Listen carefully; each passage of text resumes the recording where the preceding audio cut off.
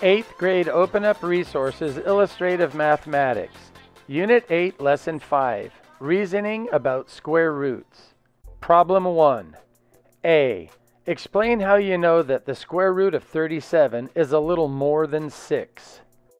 Because 6 times 6 is 36 and 7 times 7 is 42, you know that the square root of 37 is going to be between the square root of 36 and the square root of 49. Since 37 is much closer to 36 than it is to 49, you know that the square root of 36 is going to be just a little bit more than 6. B. Explain how you know that the square root of 95 is a little bit less than 10.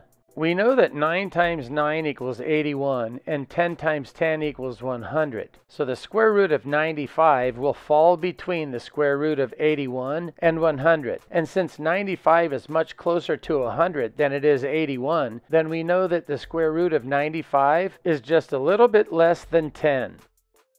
And finally, C. Explain how you know that the square root of 30 is between 5 and 6. 5 squared is 25, and 6 squared is 36. So the square root of 30 is going to be between 5 and 6. 25 is closer to 30 than 36 is, so the square root of 30 is going to be a little bit closer to 5 than it is to 6.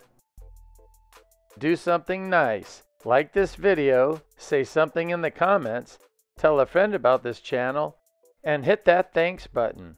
Problem number two. Plot each number on the number line. The first number we need to plot is 6. That's easy enough. We can put a point right above the 6 on the number line. The next number is the square root of 83.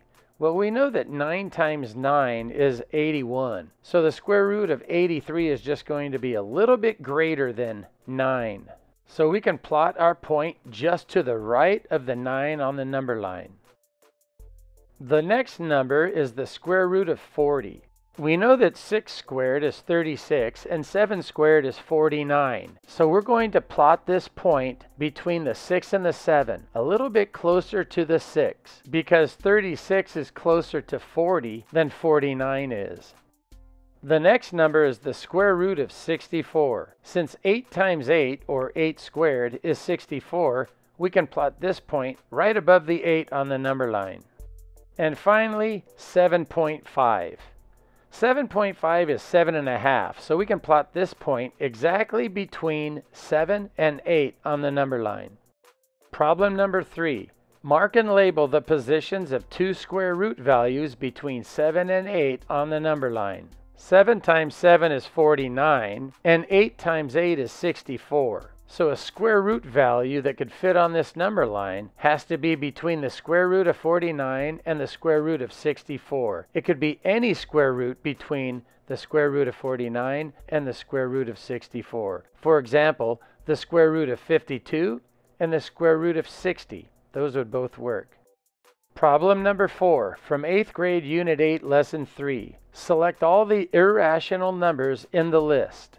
Remember, irrational numbers are numbers that cannot be represented as a simple fraction. The term irrational means no ratio, and as a decimal, it would be a decimal that never ends and never repeats. Pi is an irrational number because written as a decimal, it never ends and never repeats, and pi cannot be represented as a fraction. Another example of an irrational number is the square root of 2. Written as a decimal, it goes on forever without repeating. The first number is 2 thirds. 2 thirds is a rational number because it's written as a fraction. And written as a decimal, you can see that it repeats. The next number is negative 123 over 45. When written as a decimal, you can see that that number also repeats, so it's a rational number. The next number is the square root of 14. The square root of 14 is an irrational number because it can't be written as a fraction, and when written as a decimal, it goes on forever without repeating. The next number is the square root of 64. The square root of 64 is 8 because 8 times 8 equals 64. 8 can be written as a fraction, 8 over 1, and 8 is a rational number. Next is the square root of 9 over 1. That's the same as the square root of 9. Since the square root of 9 is 3, and 3 can be written as a fraction, 3 over 1, 3 is a rational number. Therefore, the square root of 9 over 1 is also a rational number. The next number is negative square root of 99. This number as a decimal goes on forever, does not repeat, and it cannot be written as a fraction. So negative square root of 99 is an irrational number. The next number is negative square root of 100. The square root of 100 is 10 because 10 times 10 is 100. So the negative square root of 100 would be negative 10. Negative 10 can be written as a fraction. Since negative 10 is a rational number, then the negative square root of 100 is also a rational number. Problem number 5. From 8th grade, Unit 8, Lesson 2. Each grid square represents one square unit. What is the exact side length of the shaded square? I'm going to form a triangle so I can use the Pythagorean theorem. a squared plus b squared equals c squared. For this triangle, we can use 2 squared plus 3 squared, and that will equal c squared. 2 squared is 4, 3 squared is 9, 4 plus 9 equals c squared.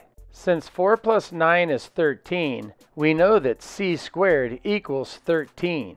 So the side length c must be the square root of 13. So the missing side length in this case is the square root of 13. Problem number 6 from 8th grade Unit 7 Lesson 10. For each pair of numbers, which of the two numbers is larger? Estimate how many times larger. A. These are equivalent to 370,000 and 7 million. 7 million is obviously larger than 370,000. I used a calculator and I can tell that 7 million is almost 19 times larger than 370,000. That means that 700 times 10 to the fourth power is almost 19 times larger than 0.37 times 10 to the sixth power. B. These are equivalent to 48,700 and 1,500,000. 1,500,000 is obviously larger than 48,700. Using a calculator, I can see how many times larger 1,500,000 is compared to 48,700. It's almost 31 times larger. That means that 15 times 10 to the fifth power is almost 31 times larger than 4.87 times 10 to the fourth power. C. 500,000 and 2.3 times 10 to the eighth power. These are equivalent to 500,000 and 230 million. 230 million is obviously greater than 500,000.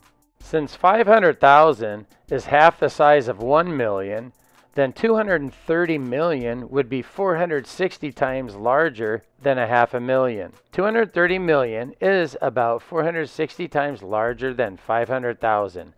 That means that 2.3 times 10 to the power of 8 is 460 times greater than 500,000. Problem number 7 from 8th grade Unit 6 Lesson 4. The scatter plot shows the heights in inches and three-point percentages for different basketball players last season. A. Circle any data that appear to be outliers. I circled one outlier. It was located at 85 inches and then just below the 15% mark. B. Compare any outliers to the values predicted by the model. This point represents a player who had a significantly worse three point average than the model predicted by about 15%. Be sure to support my YouTube channel by liking this video and hitting that thanks button.